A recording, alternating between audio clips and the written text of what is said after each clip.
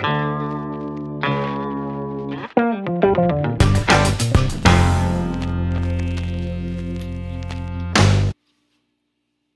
Dragon Artists! Today we are going to create an artwork based on my favorite thing to draw and paint, Jeju! Um, over spring break, I had the opportunity to do a lot of different paintings, and I painted two scenes of Jeju that I wanted to share with you. One of them is, you guys probably recognize it, it is Sang, and it's got the beautiful canola flowers which are blooming right now. And then the other one, I'm still not completely finished with. This is one of the cliffs outside of the Andeok Valley just on the south side of the island and I've still got to add my canola flowers down here.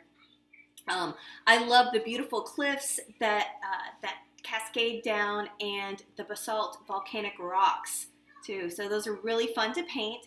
And today's artwork is going to be all about Jeju. So you're, today you're gonna need a pencil, white paper, and a black marker, and we will be doing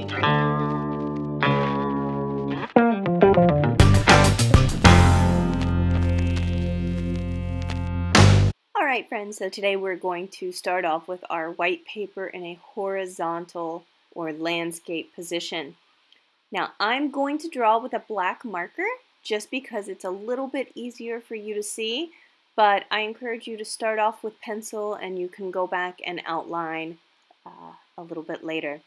The first thing that we're going to begin our drawing with is going to be um, our grandfather statue. Now, you can choose to put your statue on either side. Uh, I would suggest starting with the hat, and you're going to want it to be about two fingers width, and it's going to be a rainbow or upside down U. Now draw a small line to connect the bottom of your rainbow. And a, just right below that, that's going to be the rim of your hat.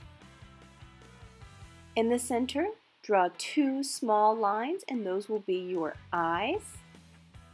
Now the eyes for the grandfather statue are rather big and bold. That's what they are, uh, makes them easy to recognize.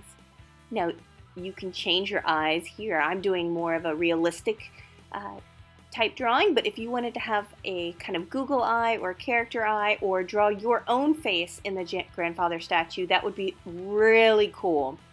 Um, As you draw your face line down and around, you'll notice that you had a rainbow on the top for his hat and a U on the bottom for his face, and they are about the same size. His ears on both sides start at the top of his eyes and go down to the top of his mouth. And here I'm connecting his hat by drawing a curved line around and bringing both of those lines around to create some depth. Now that I've got that awesome face captured, I'm going to draw the bottom part of the statue. Give this guy something to stand on. I'm drawing it rather large so that way I have the opportunity to write something inside. Um, but again, he doesn't have to stand on this type of block. Maybe standing on a skateboard or a surfboard or on top of a rainbow. Now I'm going to go a little bit backwards uh, but I'm going to start off with his hands. And his hands are going to go on both sides, and I'm going to draw him with four or five fingers. I didn't. I don't know why one hand has four fingers, the other one has five. I didn't really realize it till right there, but again, it's your own photo. Four or five fingers are optional, and those are just ovals stacked on top of each other. You can connect his hand by drawing one large oval and then two small lines on the outside. That's going to be his arm.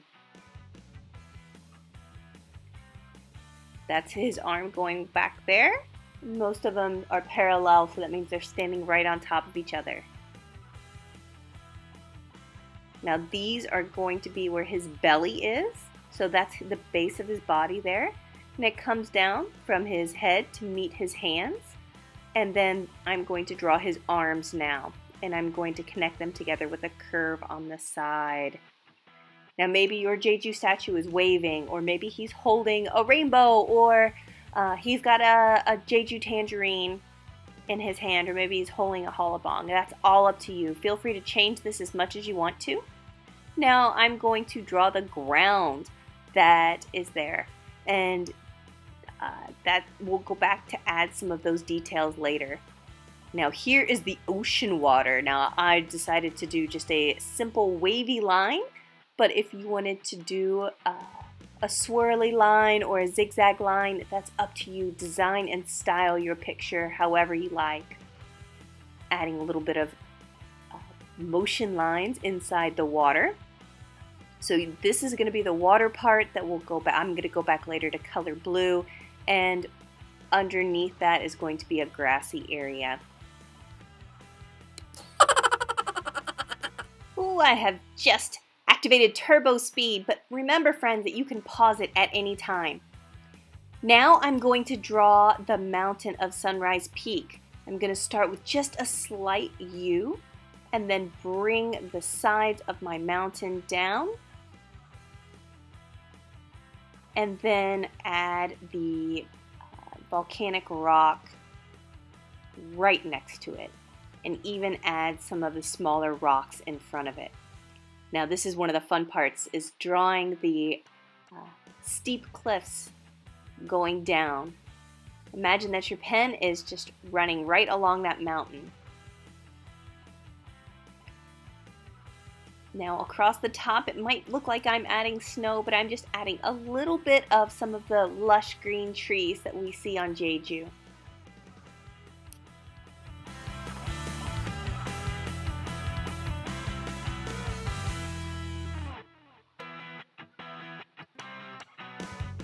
Now I've decided to add a sun on my picture, but you can add anything you want to. Maybe you're adding a rain cloud, or maybe you're adding a moon, or maybe there's a UFO flying through there. This is your Jeju scene, so feel free to change it up. The same rules apply in the art classroom as they do in the virtual art classroom. No weapons, nothing violent, nothing gross, and no poop. All right, I added a swirl inside my sun. And then I'm going to add some big fluffy cumulus clouds.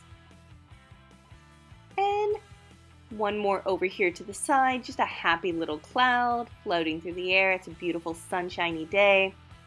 And I'm going to add some small flowers down at the bottom.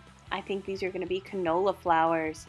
Uh, you see beautiful wildflowers always uh, at this time of year in Jeju.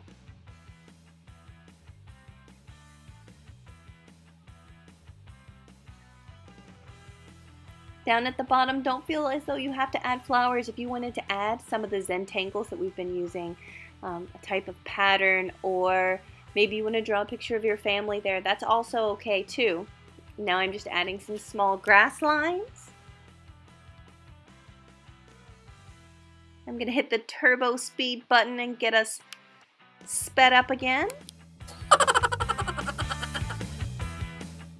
Alright, as I'm getting close to finishing my project, I've decided to write the word Jeju right uh, on top of my statue.